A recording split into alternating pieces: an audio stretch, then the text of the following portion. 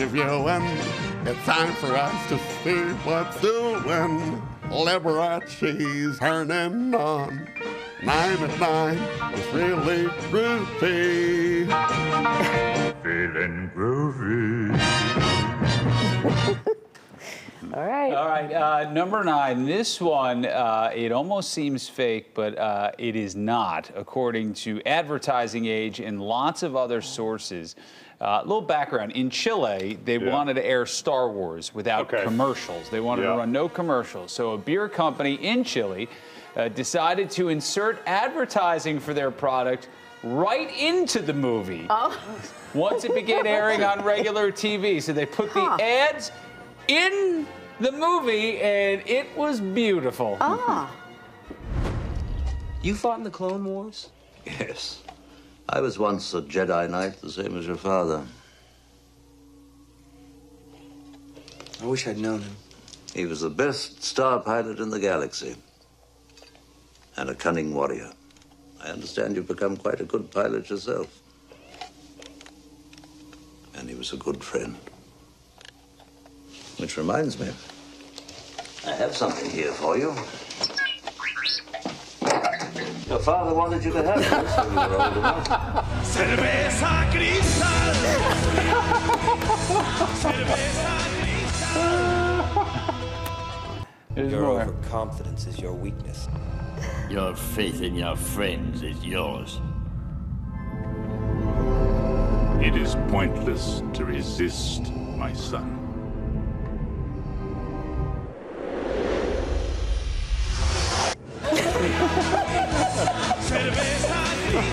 Oh, that's great.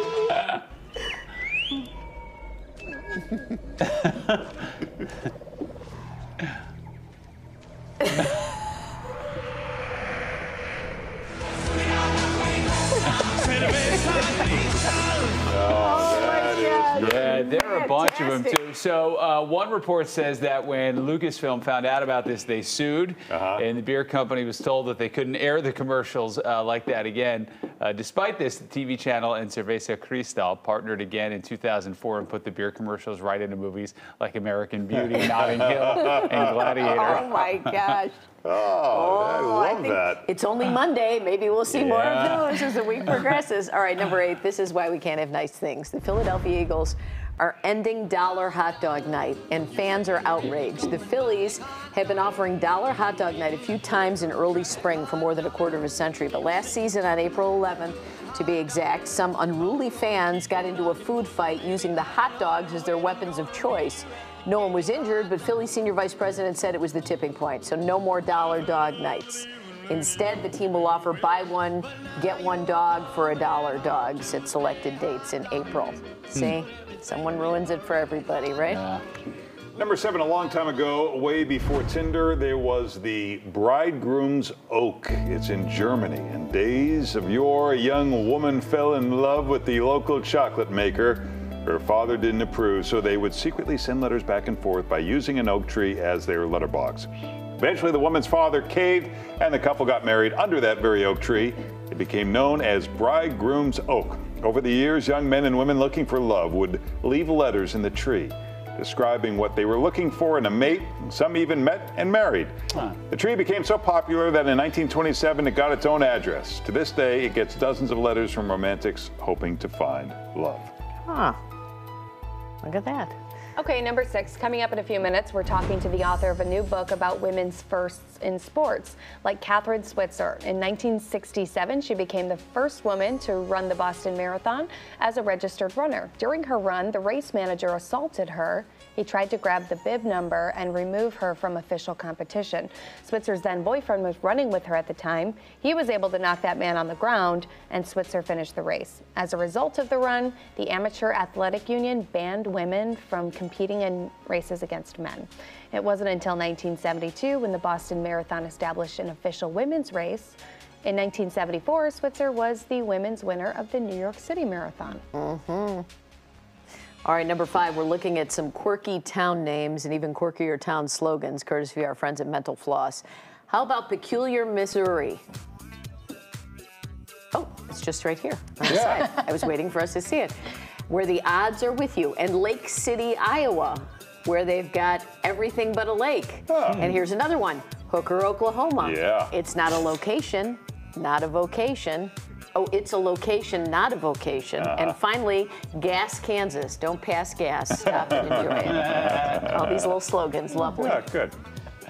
Uh, number four, here's a quick video of a bird, and a few seconds in, there's a nice surprise. We'll explain.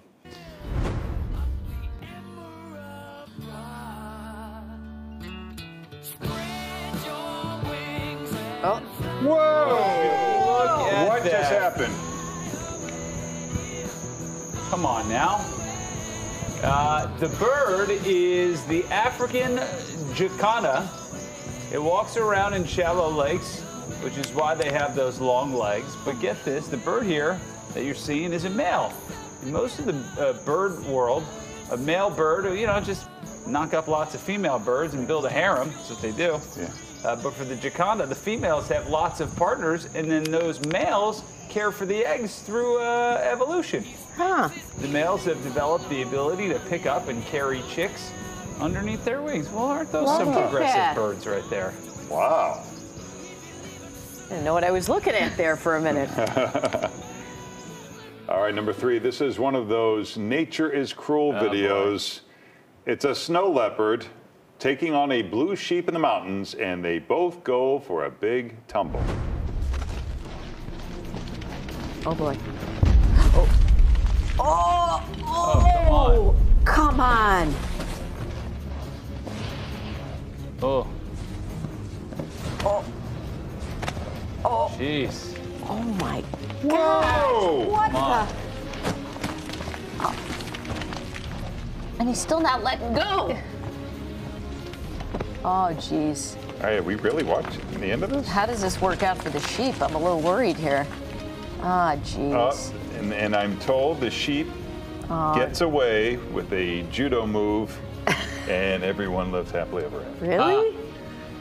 or are you just saying that to make us feel better? Just they- saying that to make you feel better. It's a lot cuter when the pandas fall. Yeah. Yeah. All right, number two, check out Foot Fit 3. It gives you the benefits of walking without having to leave the comfort of your living room. And All you gotta do is stick your feet into the little slots and the machine simulates the motion of walking. You can even link it to your Bluetooth or your smartphone to monitor your progress, and it's available on the Japan Trends website. Oh, confused. you put your you put your shins in there and your feet in there, and it just Moves your muscles just like you were walking. but you're not walking. uh, I kind of like that. Yeah. Not bad. Uh, number one, we showed you this last week during voicemail, just in time for spring. Some people are probably thinking about getting in better shape to enjoy it. Here's new fitness equipment uh, that requires very little effort. Peloton. You know us for our bike, our rower, our treadmill, but for those who just don't care, we've come up with something better, something easier. Hey, you. Yeah, you.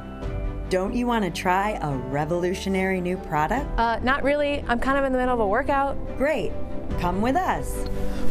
From the mind of legendary news anchor Robin Baumgarten comes a ridiculously easy new workout machine. Introducing the Peloton Couch.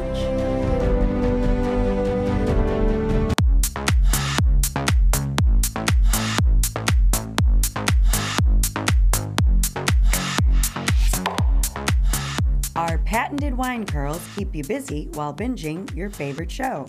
Add resistance just by adding ice. Use our remote to work out those fingers. Get it, girl. Want to sweat off the pounds? The Peloton couch is heated. Side stretches can bring fast results. Want six pack abs? No problem. And the Peloton couch is great for static stretching. Wow, I burned two calories. The Peloton couch. Motivation that moves you. No one who can run over a mile and is serious about fitness should use the Peloton couch. The Peloton couch has no association with Peloton. In fact, they told us this was a terrible idea. they went on to say that this spoof was a terrible idea too. But we said, hey, it was Robin's idea, so blame her. We just work here. Uh-huh. Nice. Shout out to Lindsay and Jen Ward doing Yes. the voiceover there. Well done, guys. It's a nine Well at nine. Feeling groovy.